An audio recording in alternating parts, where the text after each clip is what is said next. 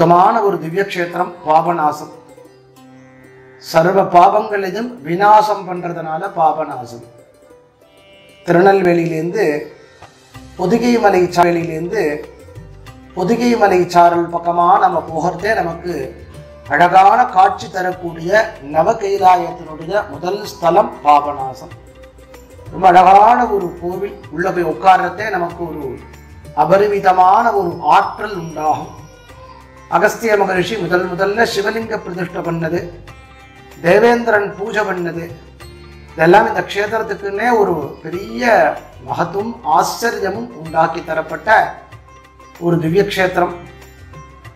நவகைலாயத்துல பிரதானமான ஸ்தலமாகவும் அதிலேயும் ரொம்ப வசதியா தாமிரபரணி நதி பூமி பிரதேசம் பண்ணுவதற்குண்டான முதல் இடமாகவும் இருக்கு. கம்பானுக்கு உலகம்மைன்னு பேரு. ஜெகன்மாதாவை பேசும் தெய்வம் அப்படின்னு கொண்டாடப்படக்கூடிய சக்தி பராசக்தி. ஏன் இப்படி பேசும் தெய்வம் அப்படின்னா பக்தர்களோட அவ்வளவு பெரிய வாஞ்சை. அம்மா கிட்ட போய் நம்ம எப்படி போய் நமக்கு வேண்டியது எல்லாவற்றையும் கேட்டு பெறுகிறோமோ? அப்படி ஜெகன்மாதா உலகம்மை எல்லோருக்கும் அனுகிரகம் என்றால் அகஸ்தியருக்கு அனுகிரகம் பண்ணினவள் பக்தர்களுக்கெல்லாம் அனுகிரகம் பண்ணினவள் அவளுடைய லீலா வினோதங்களை சொல்லிண்டே இருக்கலாம் அப்படி ஒரு வைபவம். அம்பிகையினுடைய அனுகிரகத்தை பெற்ற பக்தர்களிலே ஒருவர். நமசிவாஜ கவிராஜர். அழகான ஒரு பெயர் அவருக்கு. தினம் சன்னதிக்கு வருவார். அம்பாள் கிட்ட நின்று பாடுவார். அம்பாளுடைய அழகிலேயே மயங்கி போனவர் சுக்கி போனவர். பாதாதி கேச பரியந்தம் அனுபவிச்சு அனுபவிச்சு அனுபவிச்சு அம்பாவனுடைய உச்சி திலகத்திலிருந்து ஆரம்பிச்ச அழகான புருவங்கள்.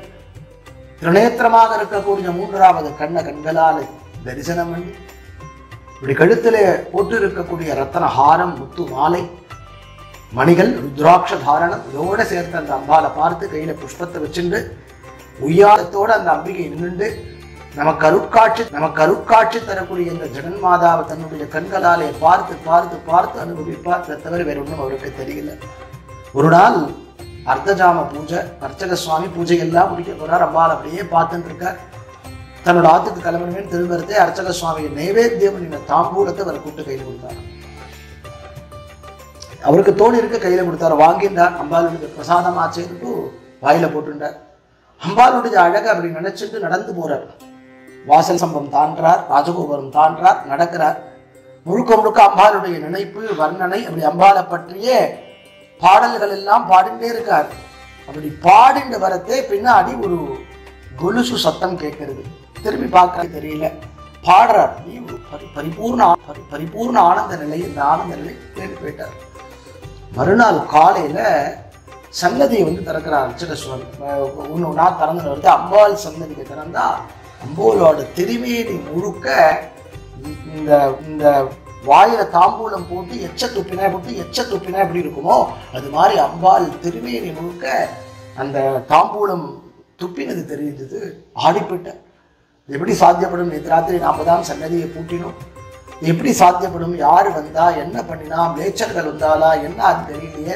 இதற்கு என்ன செய்வது ஒன்றுமே புரியல அவருக்கு. கதி கலங்கி போய் கதி கலங்கி போய் நின்றுட்டோம் என்ன பண்ணுறதுன்னு கேட்குறார். அங்கே இருக்கக்கூடிய பெரியவாரிடம் கலந்து ஆலோசனை பண்ணுறா ராஜாவுக்கு செய்தி கூறி. ராஜா வெகுண்டு எழுந்துக்கிறார். நேர சன்னதிக்கு கிளம்பி வர்றார் ராஜா. இது மாதிரி யார் பண்ணினாலும் எவ்வளவு பெரிய குற்றம் அது. அவனை கழுவேற்றணும் அப்படின்றாராம் ராஜா. எல்லாம் அன்னைக்கு இப்போ என்ன பண்ணுறது சர்வப்பிராயசித்தங்கள் எல்லாம் பண்ணி நல்லலாமோ பண்றா.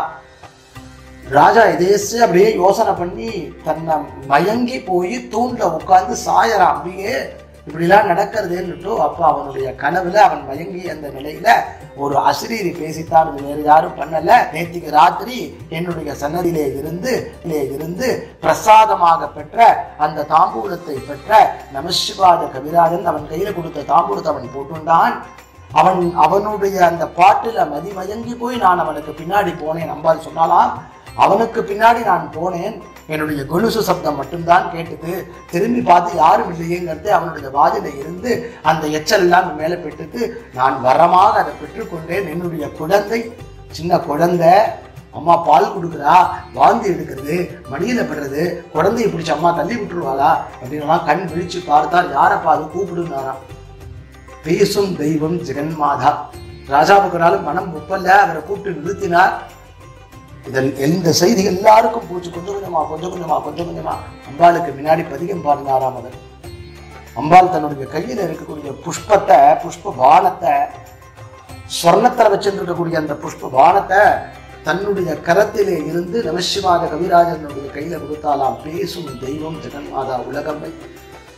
உலகம்மை பதிகம்னு ரொம்ப அழகான பாடல்கள் எல்லாம் பாடித்தரப்பட்ட அற்புதமான அந்த இடம் அந்த இடத்துல ஜெகன்மாதாவை நினைச்சு நெக்குருக வழிபட்டு பூஜிப்பவர்களுக்கு ஜெகன்மாதா பராசக்தியினுடைய அருளாற்றலை பெறுவதற்கு உரித்தான ஒரு ஸ்தலம். பேசும் தெய்வமாக விளங்கக்கூடிய உலகம்மையனுடைய சரணங்களிலே பத்திர புஷ்பத்தை சாற்றுவோம். அவர் இந்த உலகத்துல நிறைய பேர் மகான்கள் தெரியவே இல்லை. இப்படி ஒருத்தர் இருக்காரா? இப்படி ஒன்று பண்ணாரான்னு தெரியல. என்று தெரிந்து கொள்வோம் அறிந்து கொள்வோம். அன்னையை இருக்கும் இடத்திலேயே போற்றுவோம்.